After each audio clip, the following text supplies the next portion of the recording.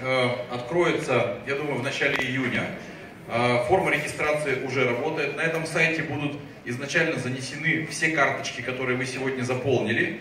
Э, после того, когда вы получите ссылку на авторизацию, на этом сайте будет возможность более подробную информацию по проекту добавить. Мы постараемся это сделать максимально удобно, чтобы это было синхронизировано с соцсетями, чтобы были, люди могли увидеть друг друга. Э, ну, что-то типа внутренней соцсети попробуем такое сделать по Байкалу. Я надеюсь, что со временем, за ближайший год, мы соберем сообщество людей, кто ведет реальную практическую деятельность на Байкале, может быть, человек 500, и совместно дальше сможем формировать уже общие цели, общие приоритеты, уточнять, какая где инфраструктура нужна, ну и как-то совместно координироваться. Так что, ну, главное обязательство, что, во-первых, это все оказывается на сайте, и примерно недельки через две, я думаю, три откроется. А на следующей неделе, э, максимум вторник, все материалы данной э, секции по развитию территории, они будут выложены в виде файликов для скачивания, можно заходить, они будут в открытом доступе. И разослана ссылка какая-то, да, или где-то? А, ссылку никакую рассылать не надо, ссылка 2030.baikal.ru, она уже работает, можно зайти, запишите себе этот адрес, сфотографируйте. Карта с приоритетными маршрутами будет на сайте. Опять же, пожелания, предложения какие, если есть желание войти в рабочую группу по формированию этой карты, слоев карты, включайтесь.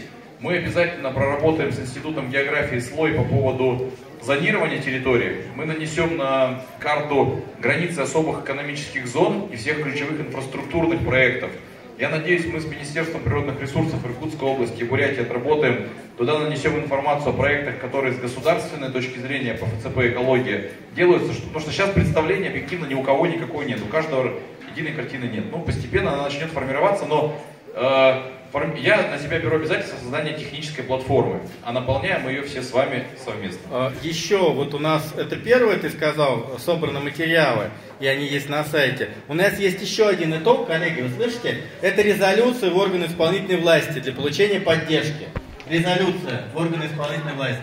Что по этой теме? Вот вчера у нас в этой же аудитории состоялась э, совершенно небольшая такая э, мозговой штурм. Мозговой штурм по запросу агентства по туризму Иркутской области. Агентство по туризму Иркутской области пришло и сказало, ребята, расскажите, какие меры поддержки нужны.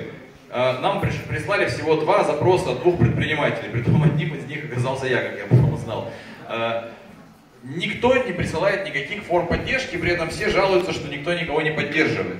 Но, собственно, эту информацию надо собирать и аккумулируя, определяя наиболее э, популярные барьеры. Ну, соответственно, мы увидим в карточках, основные барьеры в этом заключаются.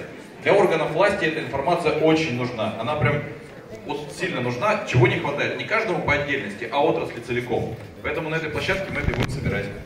Да, и еще... Э... И, соответственно, мы сейчас э, готовим протокол. У нас да? подготовка этого протокола есть. Если какие-то предложения для внесения в протокол итогов сессии есть, давайте это ляжет э, губернатору Иркутской области на стол. Но я думаю, что в Бурятии также мы отправим.